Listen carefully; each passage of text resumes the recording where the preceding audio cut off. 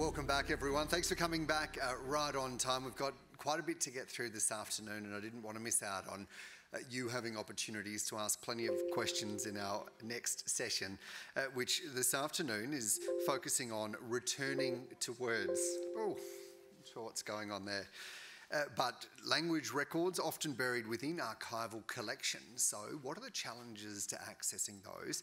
How do we? No, in fact, jumped ahead, ahead of myself just a bit there. No, that is right. I am right. I'm on the right page. So much exciting stuff to talk about today. You can understand if I'm uh, jumping back and forth a bit. So we've got uh, another three speakers talking uh, broadly around different aspects of this topic. And then at the end of that, we'll have an opportunity to have some questions. So do again get thinking about what you'd like to ask when we have that chance at the end. Our first speaker up today is Professor Linda Barwick, uh, who's been who's spent her time as a professor at the University of Sydney's Conservatorium of Music and co-founder of the Pacific and Regional Archive for Digital Sources in Endangered Cultures, and has been a real champion of digital methods and is here today to talk to us about what she's been doing in that space and perhaps a bit of where to from here. Ladies and gentlemen, please make her welcome.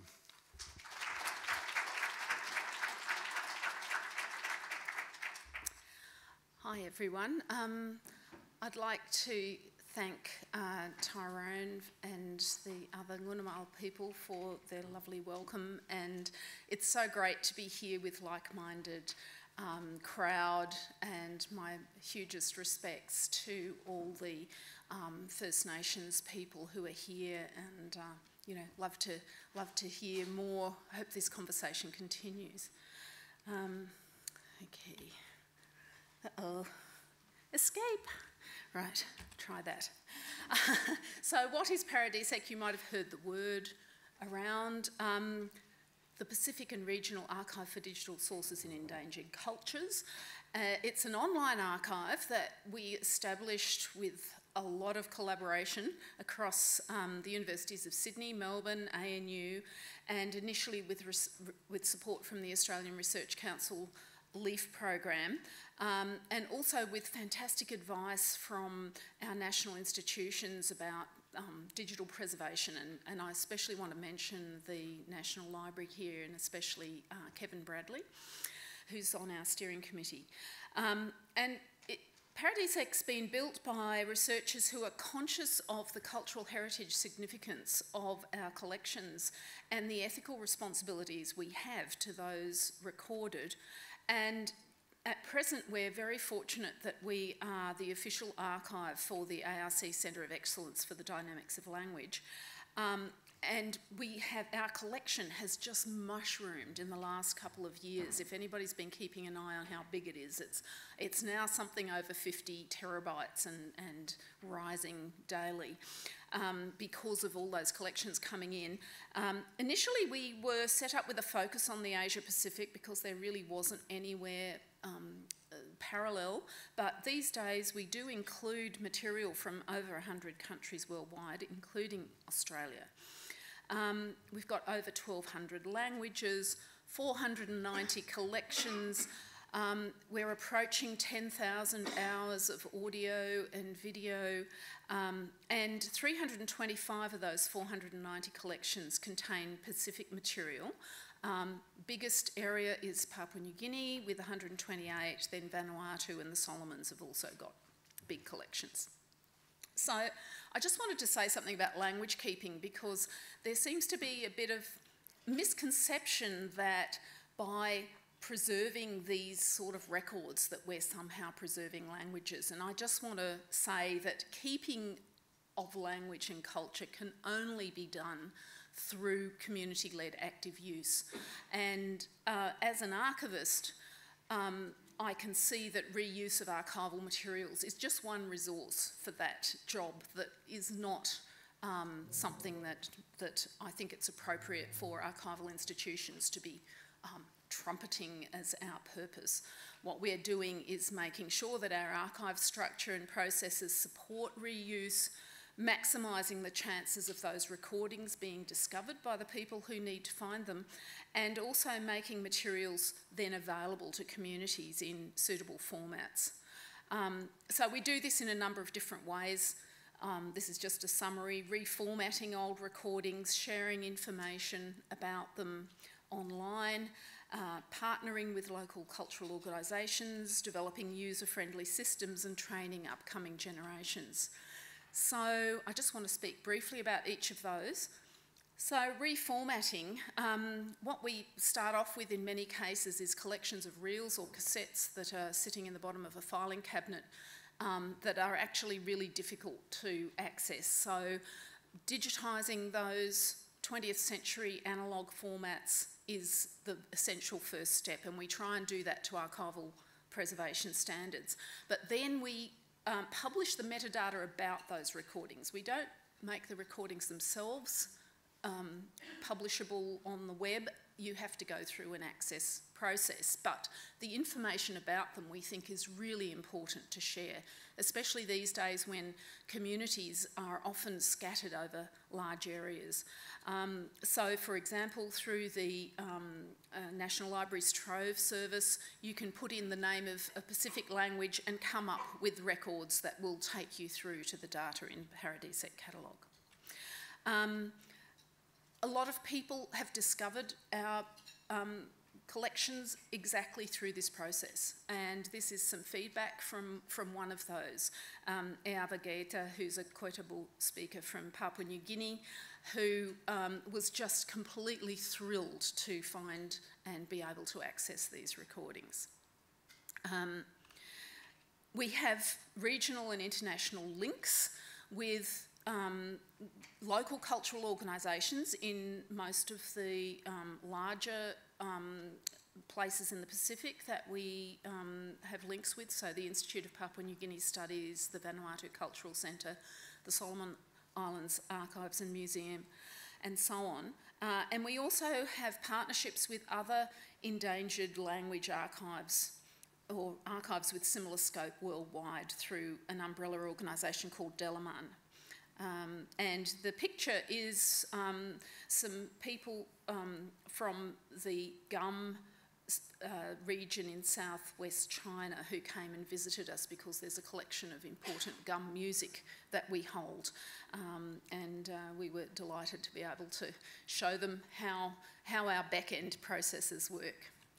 Um, through these links with regional communities, we're also forming partnerships and trialling and developing new technologies. So these days, a lot of people in places like Vanuatu have got have got smartphones, and so we're developing ways that we can deliver um, our, some of our collections via a local wireless hub that is just set up so people don't have to worry about paying for data costs, but they can still download and access the materials. Uh, and so here's some people that Nick Thieberger has been working with in Vanuatu, um, enjoying uh, getting some of their, some of their language uh, materials on their phones. Um, we've also got a big program of um, training, so new generations of researchers and community members how to create and reuse contemporary collections. Uh, and um, this is a picture from a, a workshop that um, the Centre of Excellence ran in Tahiti last year. You might recognise uh, Nick Evans's shirt there in the, uh, in the middle of the photo.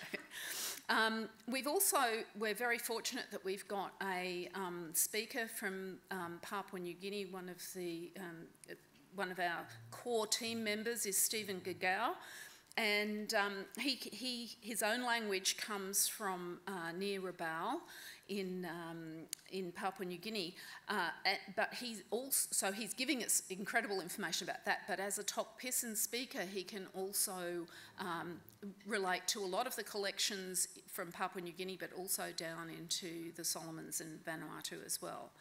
Um, and here he is collaborating with our depositor Michael Webb, who's recently given us um, a large collection of music that he recorded in Rabaul. Um, and this year, because it's the year of endangered languages, of Indigenous languages, we've um, got a couple of activities. One is we've got a mystery language of the week where we take a snippet from one of the uh, collections in our in our um, repository that we don't know exactly which language it is, and we put one up every week. And um, you can have a look on our Facebook page, and if you forward it to people you know who might know those things, the power of crowdsourcing and networking, uh, we're hoping will help us to improve our metadata. Um, and we've also got a new podcast called Toksave, which is hosted by Stephen Gagau and Jodie Kell, who's our um, sound archivist. Uh, and the first episode, which will be released shortly, is an interview with Grace Hull, who's a Kilivila speaker who lives in New South Wales. And um, she's given us this wonderful interpretation, including dancing and singing to some of the songs that he recorded in the 1970s uh, in the Trobriands. And um, so I this sort of speaker perspective is what is going to be the theme of our podcast. So we're looking to put one of those out each month um, throughout this year. Um, and uh, here's some further info, uh, and please feel free to, to contact us and have a chat anytime you like. Thanks.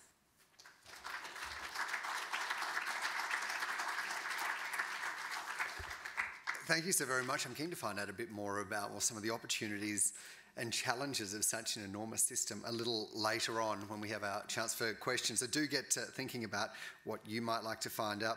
Next is uh, Rebecca Bateman, a Wailwan and Gamilaroi woman with family from Warren in northwest New South Wales and connections in and around the region who spent a lot of time and work on managing and, and getting to the bottom of lots of information about our region and then following up the work of her family who have set up organisations to be able to carry that forth. And this, this afternoon, speaking to us about returning that culture to country and how that happens. Ladies and gentlemen, please make her welcome.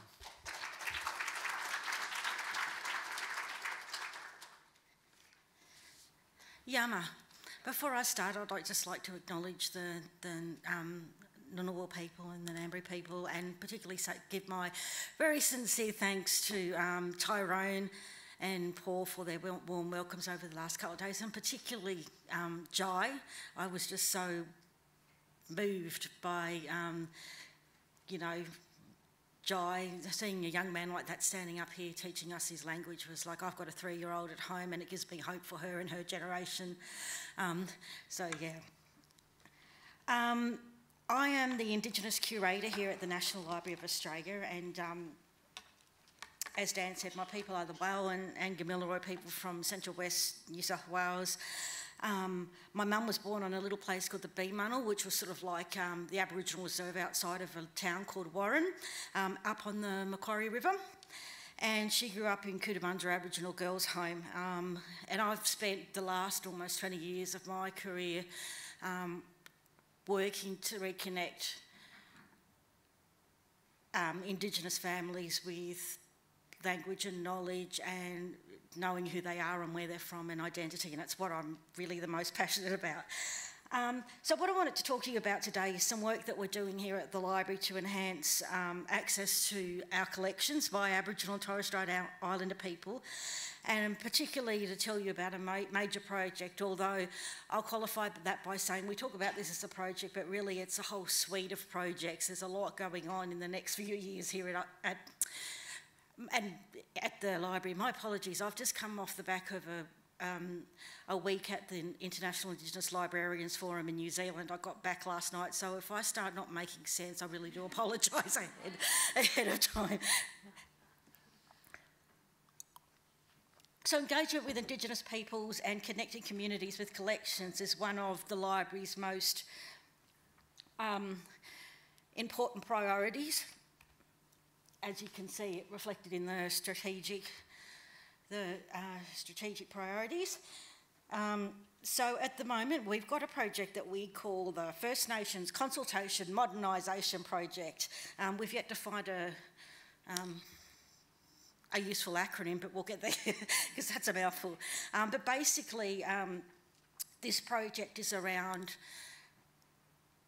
There are kind of two facets to the program to the project. One of it's around working with specific collection items and connecting those with community, and the other part is looking at how the library as a whole does work in terms of the way we connect with community and engage and um, learn from community. Um, So where am I? So I'll start by telling you a little bit about the collections-based part of the project. And I've gone the wrong way. Sorry. There were sort of three facets to that. This is why I'm saying this is a suite of projects. It's like a set of Russian dolls of projects, if you like. Um, so we're working with a bunch of um, six or seven collections of photographs of Pitjantjatjara people and Pitjantjatjara country. We have pre-established um, relationships with those people. They came here 10 or so years ago and at that time gave us some advice about, no, those photos over there are men's business and what we should do with them and how we should protect them. And so we're picking up where that left off and um, ensuring there's about, I think, two and a half thousand photos across the six collections, and some of them have already been repatriated to the Pitjantjatjara mob, and this is where we're picking up where we left off and, and working with the community to hand over the rest. Um, the second part is the Mathews collection, and I might just focus on that today in a minute, if that's okay. Um, so basically, I, think there'll be quite a few people here who are familiar with um, RH, the work of RH Mathews. Um, he, for those of you who aren't, he was a surveyor in New South Wales. He worked throughout New South Wales and developed a strong interest, just a personal interest in Aboriginal languages and culture. Um, he retired in the 1890s and then became um, sort of a self-taught anthropologist and he travelled all around the state and some parts of Queensland and New South Wales and um, into Aboriginal communities, got to know them, sat down and recorded language lists um, as well as, you know, descriptions of ceremony and other cultural and social structures. Um, but what we're really focused on is are his language lists for this project. Um, we know that um, the people that he sat down and spoke to across all of these communities, there were 70 of what he called his informants, and we know that today there are 3,500 descendants of those 70 people. So our challenge is to connect with as many of those as we can, um, which is um, obviously not without its challenges, but um, we're up for it. um, so um, there's also an oral history facet of the project as well, where we hope when we reconnect with some of those descendants that we'll be able to record um, interviews with them talking about what the material means to them and you know what the stories are in their communities about their grandfathers and grandmothers that that told that information and just giving a whole new voice to the collection really. It's, um, it's a voice with a very Eurocentric, a collection rather with a very Eurocentric voice and we want to bring the First Nations voice back to it and bring the two together to tell a full story. So the Mathews collection itself is a large one. It consists of eight series, um, but for the purpose of this project, we're only focusing on series three, which are his notebooks. Um, and it's the series that, at least here at the library, is most often accessed by First Nations people, and it's the one that consists of um, notebooks with um, language lists um, and other other information as well, but lots and lots of language lists, which is why we want, really want to focus on that one. um, oh, Pitjantjatjara up in Central Australia, that's our first project so Matthew's, I'll zoom, oh. This is what one of his notebooks looks like.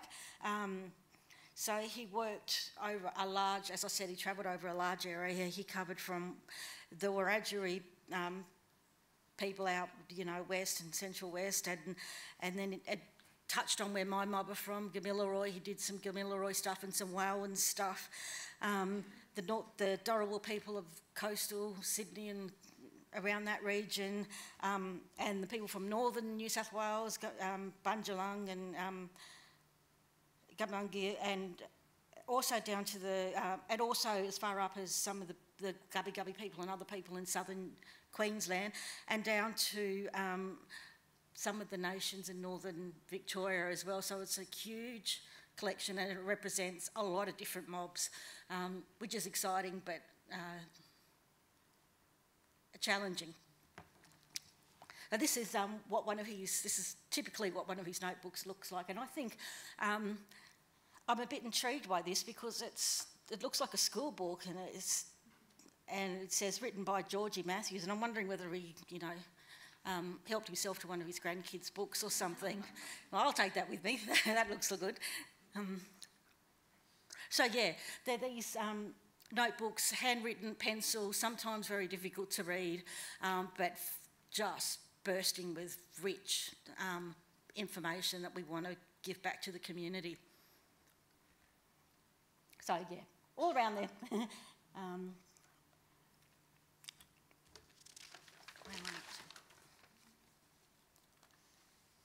So we find that currently the collection is quite heavily used, particularly in relation to native title. Um, and we're also aware that there are sens- sens- there's sensitive stuff in that collection. We know there's men's stuff, there's descriptions of ceremony. Um, and we currently manage access to the collection with that in mind by um, we sort of have a thing if somebody wants to use the collection, we, we, we want to have permission from the community that the bit of the collection that they want, want to look at relates to. Um, and if we don't get that, well, there's not a lot we can do. Um, but we haven't had any problems so far. Um, we have identified, knowing that we can't go out to, you know, however many different communities in three years. I should have mentioned this project started mid last year and finishes mid next year. Um, we've decided to concentrate on three or maybe a few more communities, key communities that are represented in the collection. Um, so Wiradjuri Mob, and I was just talking to Arnie before, um, and wanting to make connections out there. We want, we're going to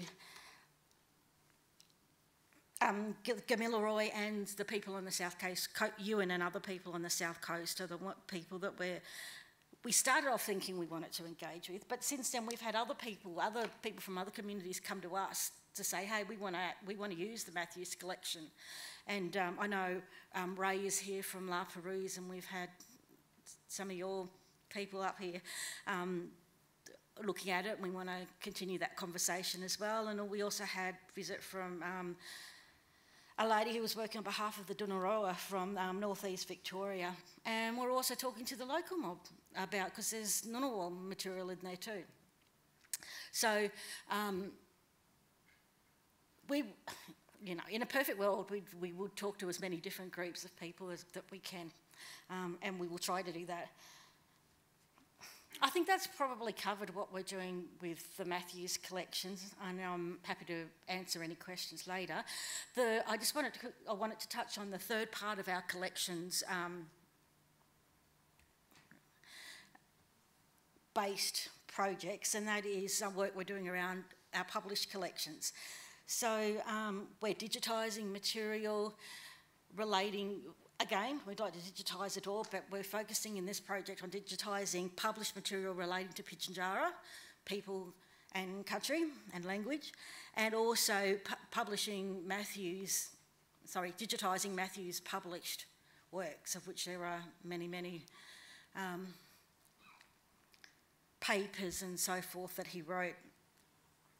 Um, and we're mindful that a lot of the material, particularly in the Mathews published material, is the same information as what's in the unpublished. So we need to we need to be doing the same consultation around the published material as we are around his handwritten notebooks. It's no different. It's just in a different format. Um, we have already moved some stuff that might, that had already been digitised or for whatever reason, and we're um, really working hard to make sure that um, sensitive material has something physically on it as well, a cover, a wrapper, so that people are, are, alerted, not to stop people from looking at, but people can make an informed decision whether they want to look at it or not. So that's the collections-based part of the project, and I'll move on now to talk to you about the other bits of the project.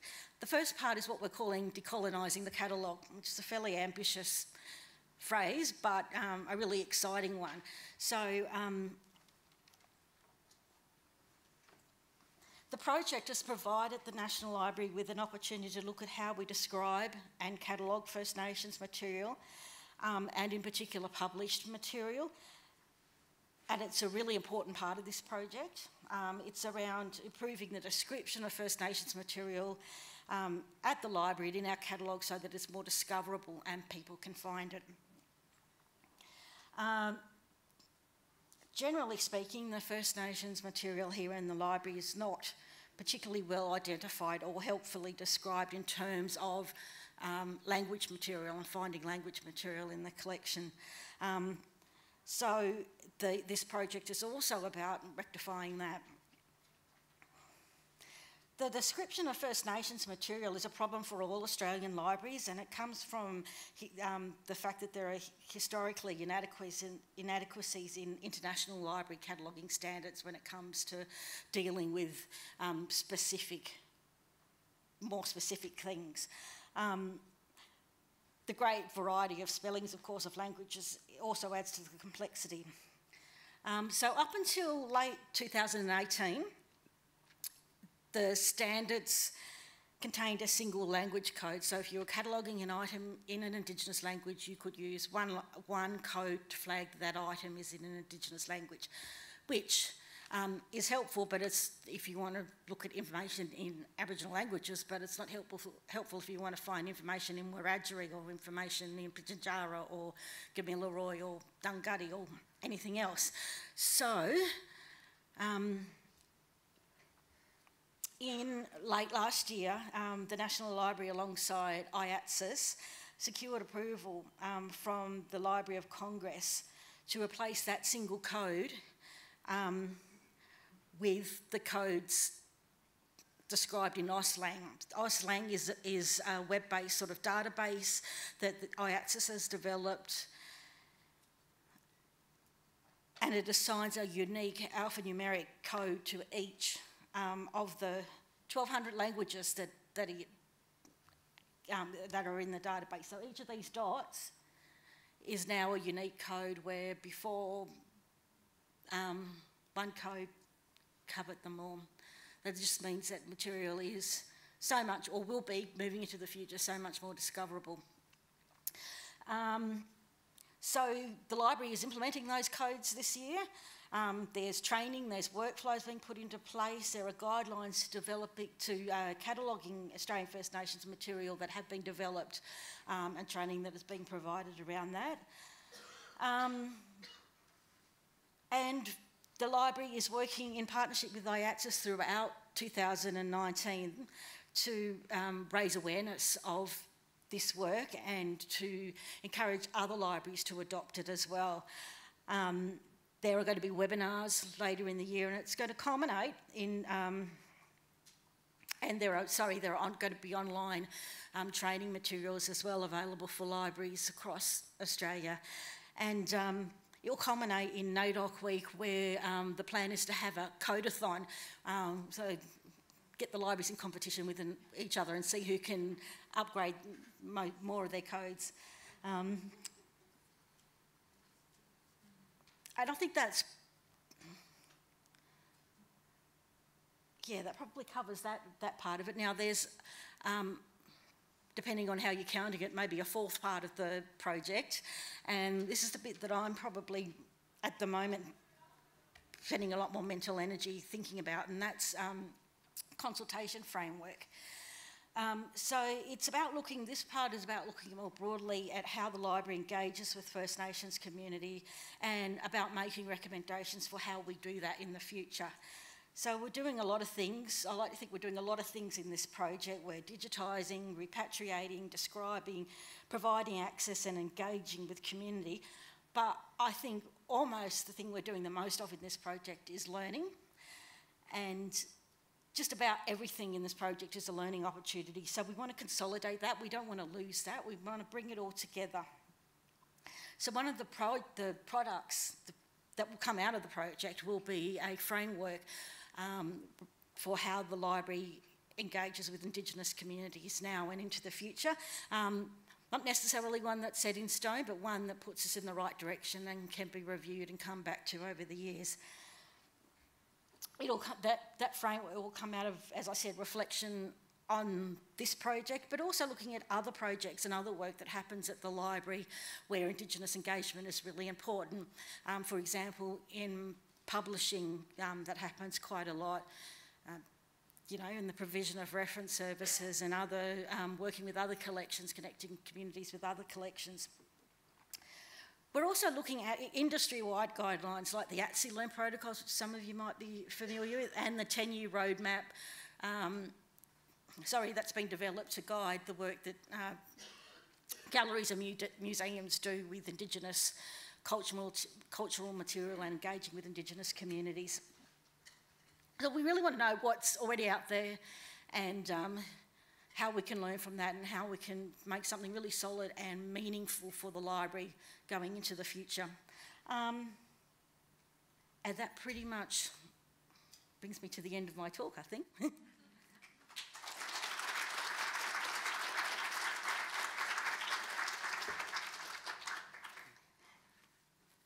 Ladies and gentlemen, Rebecca Bateman, thank you so much.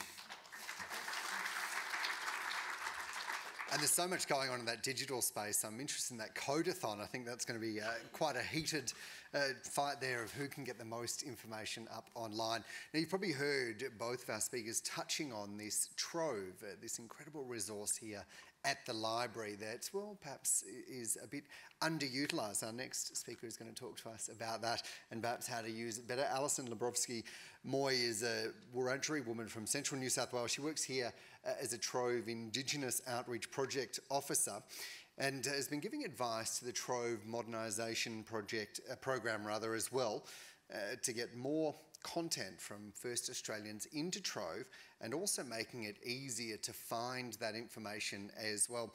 Uh, speaking today about the Discovering First Nations Content in Trove, Alison Lebrowski Moy, ladies and gentlemen, please welcome her.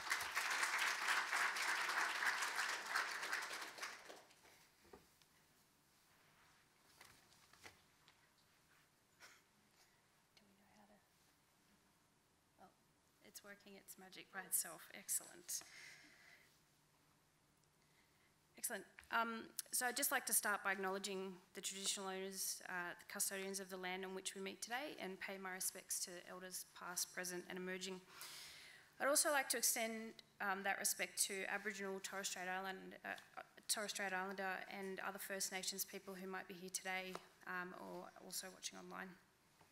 Wambana, welcome. My name is Alison Lebrensky Moy. Thanks, Dan, for the intro. I'm a Wiradjuri woman and my people from Tumut in Western New South Wales. I'm the Trove Indigenous Outreach Officer at the National Library of Australia. For those who haven't interacted with Trove before, it's the National Library's online resource discovery platform. It's a place to discover, immerse oneself, and engage with the many voices that make up our Australian community.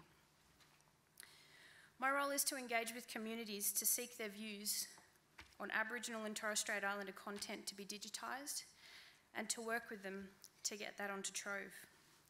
I'm also providing advice to the Trove Modernisation Program, which has a strong focus on increasing First Nations content and making it easier to find Indigenous language content in Trove in a culturally safe space. You may not have heard of the Trove Modernisation Program before, but it covers research and activity, research and activities Trove has been involved in since early 2017 to speak to our current and prospective users, improve the service and ensure it has a strong future. It's supported by funds allocated by the, Nas the sorry, it's supported by allocation funds allocated to the National Library from the Public Service Modernisation Fund and is scheduled to run until mid-2020. There are seven projects as part of the modernisation, each focusing on improving a particular aspect of Trove. These include how content is searched for and accessed in Trove, the way the service looks and feels, and how we use Trove for analysis and research. Trove has more than a thousand partners that share their collections with us. These partners range from state, state libraries and major cultural institutions to local historical societies and community groups across Australia. Since Trove was launched in 2009, the way users the way users access information and the kinds of information they use most has changed. The amount of digitised content in our collection has increased dramatically, and 90% of the visitors to Trove access this content. Our visitor numbers are growing steadily, as are the organisations who want to partner and share their collections with us. Trove is also changing to better reflect the needs of all Australians. A consistent message we've received from our research is that Trove needs to become easier to use and understand for a wider, range of people. As a government funded service that is free for users, Trove relies on, on having a diverse and thriving community of users for future sustainability. Our aim is to make Trove a more open and welcoming place, not just for our current users, but for Australians of all ages and backgrounds.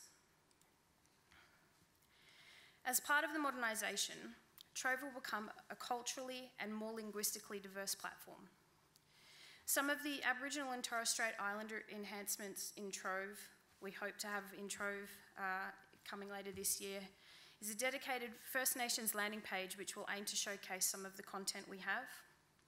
Implementation of cultural warnings, displaying cultural identifiers on search results, the ability for Indigenous partners and communities to create their own collections, and the implementation of AUSTLANG in Trove. As mentioned, Trove will become a culturally safe space for our Indigenous users, and with the enhancements such as the addition of culturally specific warnings and identifiers, Trove, the new Trove will be a culturally safe one. All Australians should be able to see themselves and their families' history in Trove. This will be complemented with the addition of AUSTLANG. Searching for old documents that mention language groups on Trove can be really hard. As you've heard today, it's a pretty, pretty strong message. Traditionally, Aboriginal languages were purely spoken languages, and it wasn't until after European settlement that spellings were created, but they varied from writer to writer, with the standard transcription conventions not being created until the 20th century. AUSTLANG provides information about Aboriginal and Torres Strait Islander languages, which has been assembled from a number of reference sources and allows variant names and spellings. With the use of AUSTLANG, the definitive thesaurus of Australian languages developed by AIATSIS, visitors to Trove will be able to search and browse for collection items in language. For example, Gamilaroi, a language found mostly in southeastern Australia, has a number of alternative spellings used currently and historically, including Kamilaroi, Gamilaroi, and Wallaroi, and that's just to name a few. AUSTLANG will allow you to input any spelling variant, and available content on Trove will appear in your search results. As a current example, if you search Trove for Aboriginal music, you can bring up some amazing interactions, including this digitised sheet music for Song of the Women of the Monero tribe.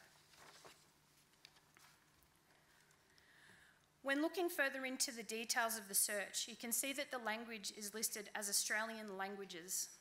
Unfortunately, there's no way for Trove to currently differentiate or identify the language used in the piece of music unless you, the user, are able to personally identify it yourself.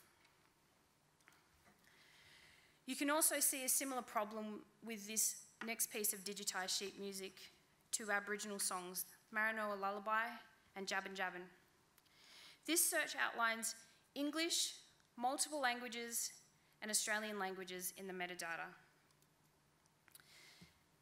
As you can see there. This is likely due to the lyrics being translated by H.O. Lethbridge. However, the language it has been translated to is unknown. Another example is in the metadata for this 1807 map of Sydney, which simply says, give some Aboriginal place names in the notes. On this search, the language is identified as English only. Therefore, we can't determine the language, and you'd have to be super sleuth to find this one on any search, map search that you happen to do on Trove. Um, as you can see by the examples highlighted here, you know, finding First Nations content in Trove is really, really difficult. Uh, current users miss, use, uh, currently risk missing key items in searches due to the lack of identification capabilities available. With the introduction of AUSTLANG codes, The search results will be far more defined, with searches producing items that may currently be missed. AIATSIS has commenced implementing AUSTLANG into their online collection. This give gives users the ability to search and filter by a particular language. As you can see on the slide behind me, there will be far more options for users to search by and the ability for Trove to generate a far more exhaustive list of items available. For users of Trove, the introduction of this technology will be invaluable for the user experience in the First Nations context. AIATSIS and the National Library will be the first collections to include these Indigenous language markers in the metadata.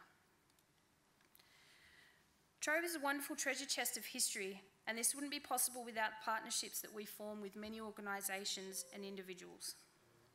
One of the partnerships the Trove Outreach team facilitates is what we call digitisation partnerships. Under this arrangement, we invite organisations or individuals to select content they would like to see in Trove, and the National Library of Australia manages the project for them. To date, we've partnered with over 150 organisations such as libraries, historical societies, universities, schools, businesses, local councils, faith, cultural, community groups, as well as individuals to digitise specific newspapers, journals, and books. In a recent project, the National Library partnered with the Northern Area, the Northern Peninsula Area State College and James Cook University, who provided permission and source copy to digitise the Bamaga High School magazine with a date range of 1973 to 2004. Dubbed Australia's northernmost mainland high school, Bamaga State High School, now the Northern Peninsula Area State College, lies just 40 kilometres from Cape York's tip. The Bamaga High School magazine was the first school yearbook to be digitised to Trove a project achieved through the partnership between the college, the National Library and the State Library of Queensland. Digitising collections such as the Bamaga High School magazine, making them available on Trove enables Aboriginal and Torres Strait Islander perspectives and voices to be visible, heard and cherished, not only by friends and family to whom the collections matter the most, but by a national and global audience. We have many First Nations titles coming, becoming available on Trove. The next is the Torres News with a start date of April this year. Trove also offers, offers content partnerships where under these arrangements an organisation gives Trove, Trove permission to harvest metadata describing their collection so it can be discovered on Trove in the context of all other collections. We have around thousand cultural, research and community organisations from around Australia, such as AIATSIS, who share and expose their wonderful collections in this way. As you can see, 2019 is a particularly exciting year for Trove, and I'm really excited to see the Indigenous enhancements come to life. From seeing more First Nations content become available and highlighted on Trove, to becoming a more culturally safe space for our Indigenous users, and quite possibly the biggest enhancement, the ability to search Trove in language. It's really exciting to see the National Library become one of the first to provide these indi Indigenous markers in the collection metadata. At Trove HQ, we're always looking for ways to better our service and the way we work and to better the experience for our users. And we always welcome feedback that you might have. Come and say hello to me reach out on our social media platforms, or you can also reach us through Trove itself. Thank you for attending today, and for those who have tuned in via social media, thank you for listening in. I trust that I've been able to give you a small insight, and I say small insight because this is just a tiny bit of what we're actually doing this year. Um, but there's a lot of really exciting changes uh, coming, so please stay tuned. Um, and I'll finish by saying Mandanguwu, which is thank you, and Yirumurung, good day.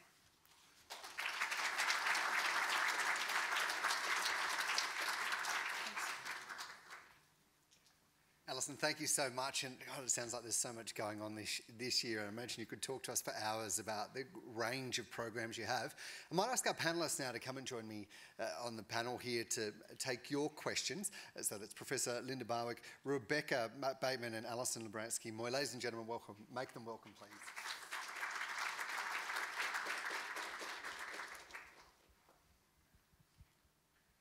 And do we have a question to start us off? Come on, don't be shy. They covered a lot of ground there.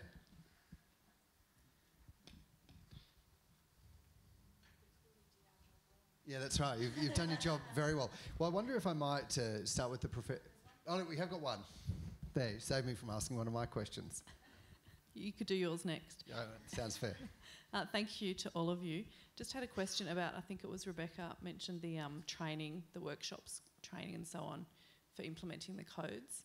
Um, is that is that kind of internal to the National Library, or is that something that'd be broader? Uh, hmm. No, there are. Um, in fact, my colleague um, Libby up there is probably better placed to answer this question. But no, it's not internal, just internal to the National Library. Sorry, sorry. Um, yeah, I might. I might let. Sorry, Libby. Are you happy to answer that one? Hello, I'm Libby Cass from the National Library. Um, our intention is to um, develop our capacity internally first and then working with the Libraries Australia network, roll out some training via the user groups to cataloguers. They're our primary audience for implementing um, AUSTLANG, so I'm happy to talk to you about that more. Is there anyone else who had a, a question there? While you're thinking about that, Alison, I just wanted to find out how do you get more people aware of Trove and into their sharing their resources, their stories, and also using those that you have? Thank you for your question. Um, so the role that I currently sit in is a um, newly created role. Um, it's an identified role, um, and so obviously I work primarily with uh, First Nations content. Um, so my job is obviously to engage with communities. So we're just, you know, starting to just touch the surface with that. Um, so it will literally be going out to communities, obviously with their welcome, um, and uh, trying to unearth what they have, and um, you know, uh, seeking their agreement to have it digitised, and then obviously put onto Trove. Um, that's a small bit of it. Um, we obviously things like this help us to um, introduce those who you know haven't heard of Trove before, and there are people who haven't heard of Trove. Um, if you haven't, welcome, enjoy it, you'll love it. Um, so yeah, it's it's just about that engagement, finding things um, that uh, you know haven't been digitised. So that could be Indigenous uh, based magazines and things like that that are no longer in print um, or available online for whatever reason that might be. Uh, same with newspapers and things like that. Um, so yeah, it's just a lot of engagement with the, with communities. I might open that up to the rest of the panel as well. Of how do you engage and get people interested in, in understanding what you're doing and, and being a part of that? Professor, we'll start with you. Well, part of it's coming to things like this and relying on the power of networking because I think that's something that um, is just amazing. I mean, so many people here know so many other people, and, and that word of mouth is actually where you get, I think, really, really good quality engagement. Um, with Paradisec, because we've got such a huge, widely dispersed um, collection, we've really tried to concentrate on developing relationships then with those local cultural hubs.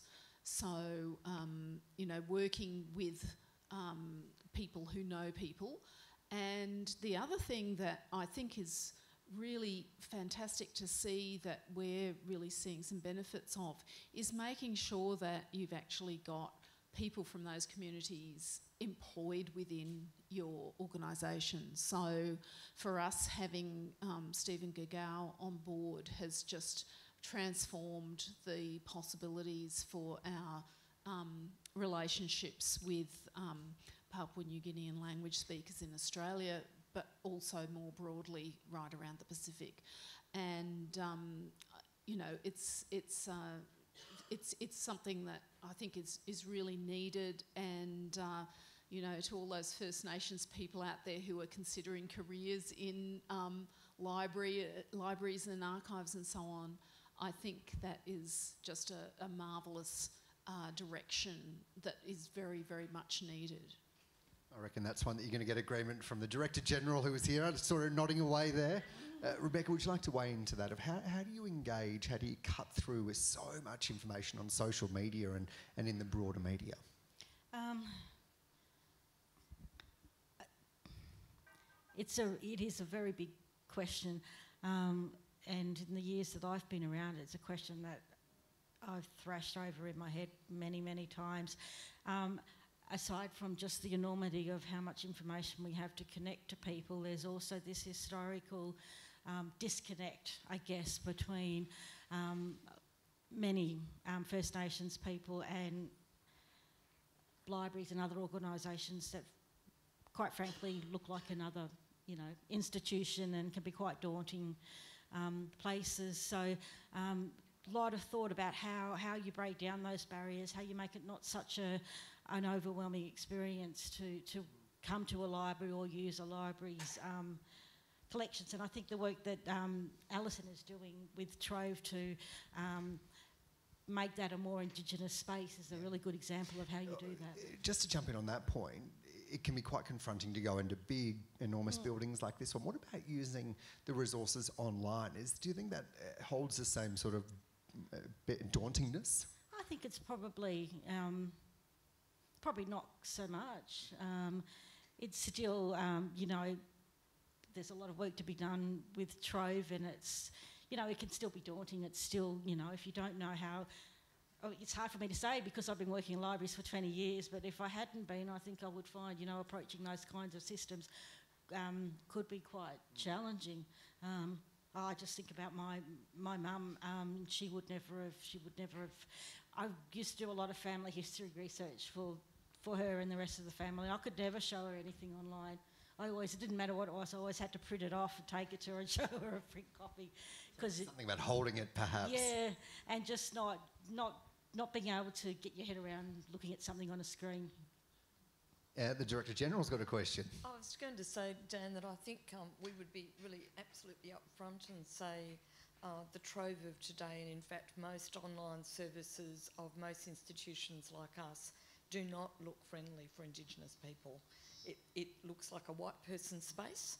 Um, and um, it can be really, you know, daunting. It's daunting for lots of people because it's kind of big and complex.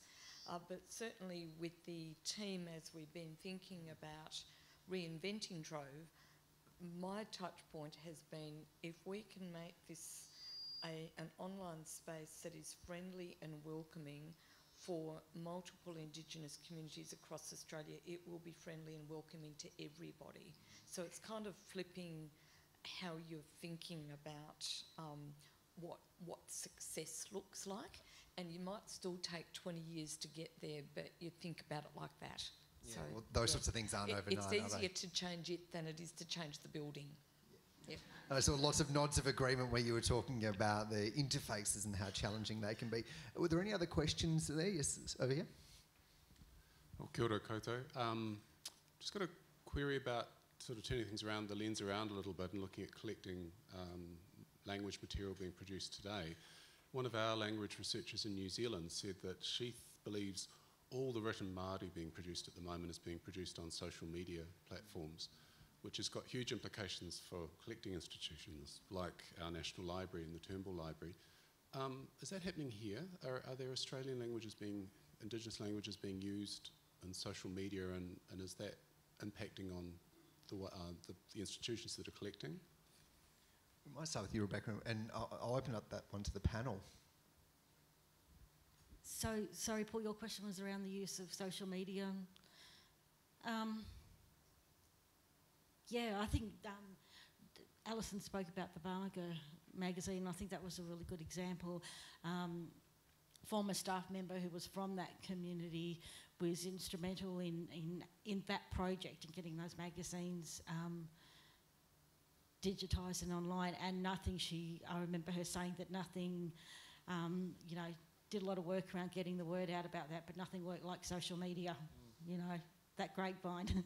um, so I think it is a really powerful tool, and we need to think um, perhaps more concertedly about how we use it and harness the power of that tool. Yeah, definitely. You want to weigh into that one as well?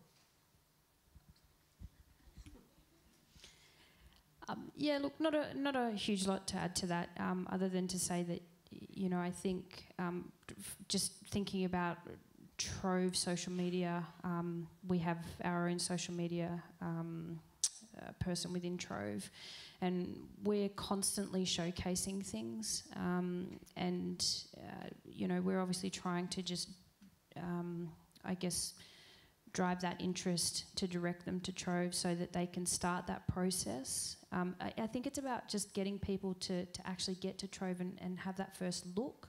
Once people, you know, touch the surface, they just find all this stuff that they never knew was there. Um, so social media definitely, um, whether it's you know Facebook, Twitter, all that sort of stuff. Um, our community of users uh, use it heavily um, I speak for Trove. I'm not sure about the National Library as such, but for Trove, it, it's definitely we have a great community.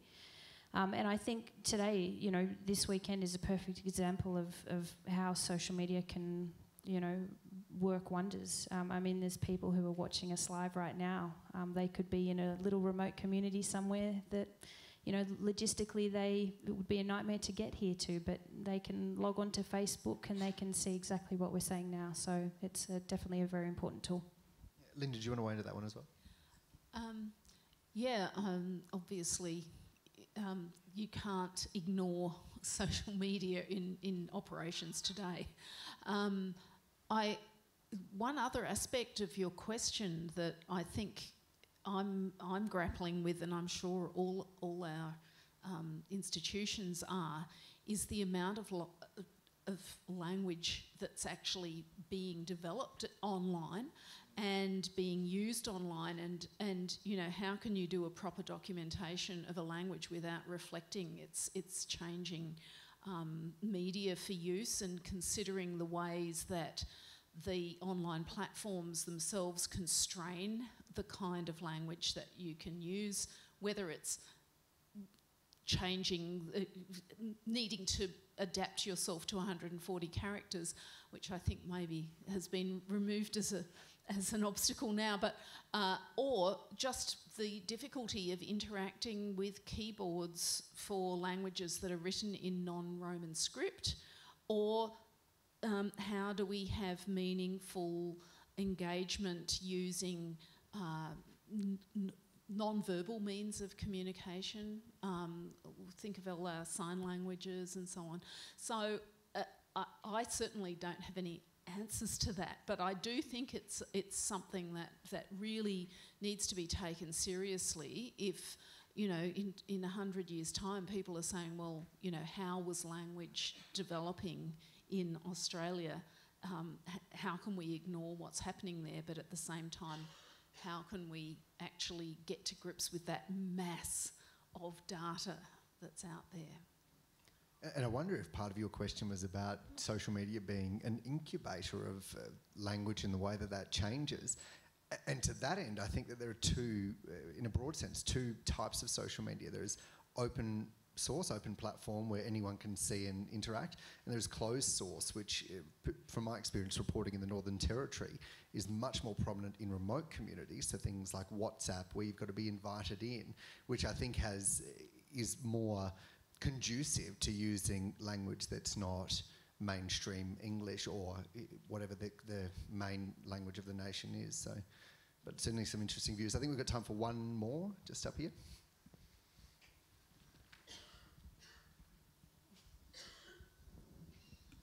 Before I did retire from um, Facebook, I used, I used, to be exposed to a tremendous volume of uh, young people's chatter, backwards and forwards, um, mostly grandchildren, great grandchildren of people that I'd known in the 1970s, but who kept in touch with me, partly through this medium, and put me on their lists.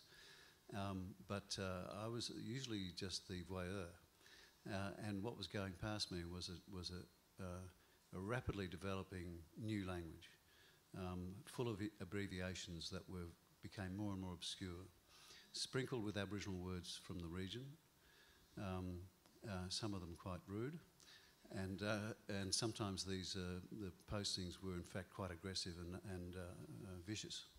Uh, so there's a, there's a real privacy problem in capturing what is actually uh, uh, something that probably is not going to be captured anywhere else, and that's young people's uh, interaction in language. Yeah, no, I think that's one of the big challenges uh, that's being grappled with around the world, you know, with the uprise of fake news and the like as well. We've run out of time in this session. Please give it up for our panel th- this afternoon.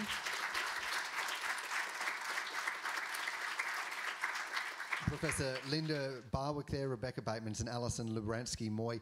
Great to have you all along. Thanks for your speeches.